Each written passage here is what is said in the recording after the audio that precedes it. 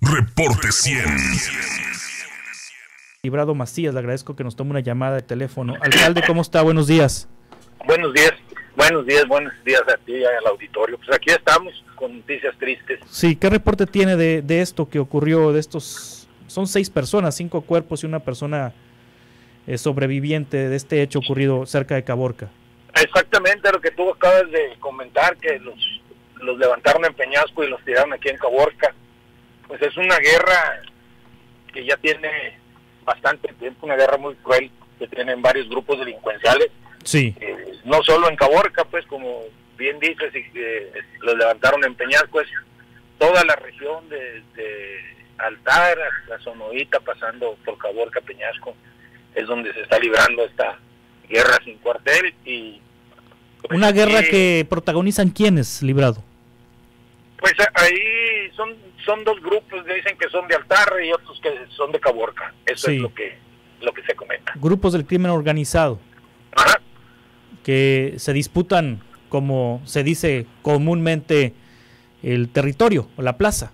Territorio, la plaza, así es, y, y pues, pues ya tenemos eh, bastante tiempo con esto, a pesar de que aquí está la presencia de la Guardia Nacional, del Ejército, de la Policía Estatal, las policías estata- estatales, la- las policías municipales, pues es el territorio es muy grande, eh, muy difícil de localizarlos y pues lo que estamos solicitando nosotros como presidencia municipal a los diferentes cuerpos policíacos pues que, pues, que se apliquen un poco más en, en el Sí. combate a esta guerra, ¿verdad? Pero como te digo, es es, es, es regional, no está focalizada en un solo lugar, ¿verdad? Sí, es, es Caborca, es la región, Puerto Peñasco, Altar, Sonoita, todos estos municipios. ¿Hay, ¿Hay mesa de seguridad regional ahí en Caborca? Sí, hay una mesa, hay una mesa de seguridad regional. Sí, que la encabeza qué autoridad librado. La encabeza el, el, el, el, el general de la 45 zona militar con sede en Nogales y, y la gente que tiene aquí, ellos son los que encabezan esta Sí, mesa. ¿dónde se lleva a cabo esa mesa de seguridad? ¿En qué La municipio? mesa de seguridad se lleva en donde era la una aduana que se hizo en tiempos de Fox saliendo de Pitequito hacia Altar. Sí. Ahí se lleva a diario. ¿Usted asiste a esa reunión? Regularmente eh, asisto poco, Sí. no asisto mucho. Eh, ¿Pero va algún representante del gobierno municipal? ¿Va Sí, va, la policía? de- va el comandante de policía, va a todas, incluso se ha hecho este por cuestiones del COVID, un día van unos, otros días va- van, van otras partes de las policías, pero el comandante de la policía municipal es, es- sí regularmente acude y me informa de lo que sucede y, y pues vemos pues eh, el que, qué estrategias se deben de usar, se ha hecho para que no se filtre información, al final se quedan los puros jefes operativos para pues para armar la estrategia que, que como vemos todavía no ha dado los resultados deseados Sí. toda la población. Si estas imágenes causan terror en la población, causan temor en la población, eh, ¿es seguro viajar a Caborca?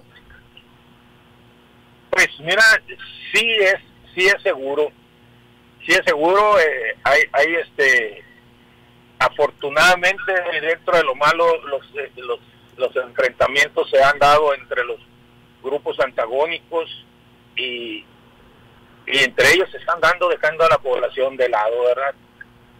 Sí.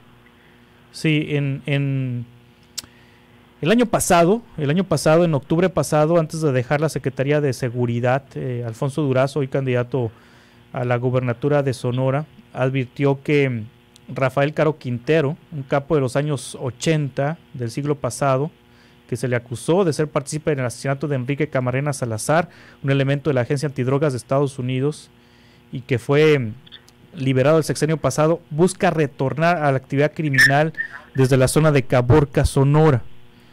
Esto, esto que dijo Durazo es cierto.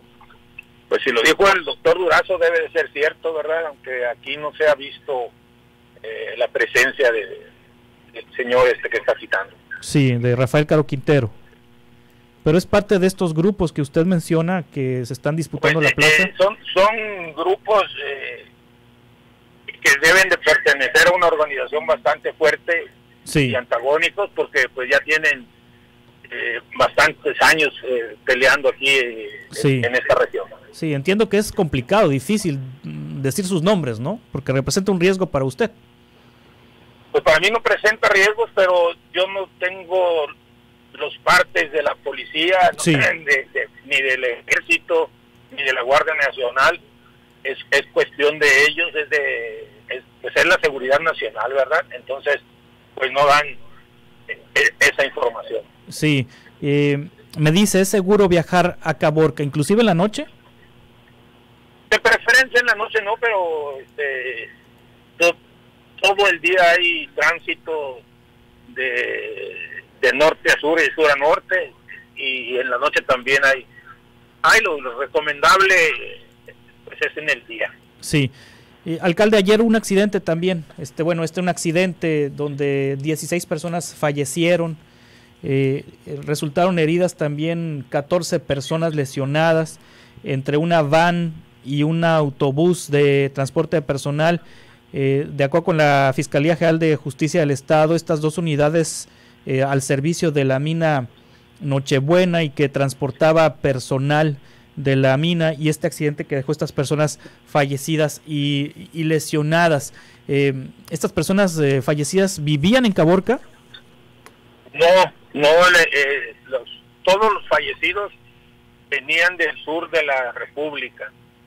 Eh, de la, del camión de la mina Nochebuena hay, hay alrededor de 10 heridos y este, están hospitalizados, parece que dos están graves y los demás eh, con golpes menores. Sí. Eh, ¿Trabajaban estas personas para la mina Nochebuena o iban apenas a empezar a trabajar? ¿Qué información tiene? Salían de trabajar, era el turno que acababa de salir de trabajar. Sí. Eh, el camión y la van. La van iba e- e- era de, de unos servicios turísticos Sí. no sabemos exactamente a dónde se dirigían porque lamentablemente eh, Todos murieron. los- todos murieron Sí, la, la fiscalía manejó en un comunicado que la van también estaba al servicio de la mina, pero no se sabe si eran trabajadores o eran no visitantes. eh, este, no sé esa información de la fiscalía Los, eh, lo que nosotros tenemos es que se dirigían a San Luis a Mexicali no sé iban Sí. rumbo al norte pero todos murieron Sí, 16 Y- personas y eran gentes de, mandé, eran gentes de fuera, mira. Noso- a nosotros, a, a, a mí en lo particular, ya me hablaron del estado de Hidalgo, de Tenango, de Hidalgo, eh, solicitándonos unos nombres, los mismos que se les dieron, como cuatro personas que eran de Hidalgo, les pasamos los nombres y quedaron ellos de averiguar en su municipio si, si pertenecen de verdad al municipio para solicitar eh, la recuperación de los cuerpos. Sí. Muy bien, alcalde, le agradezco mucho que nos haya tomado esta llamada. El presidente Bueno. municipal de Caborca, Librado Macías. Muchas gracias. Andrea, te vas para abajo. Es el presidente municipal de Caborca. Reporte 100.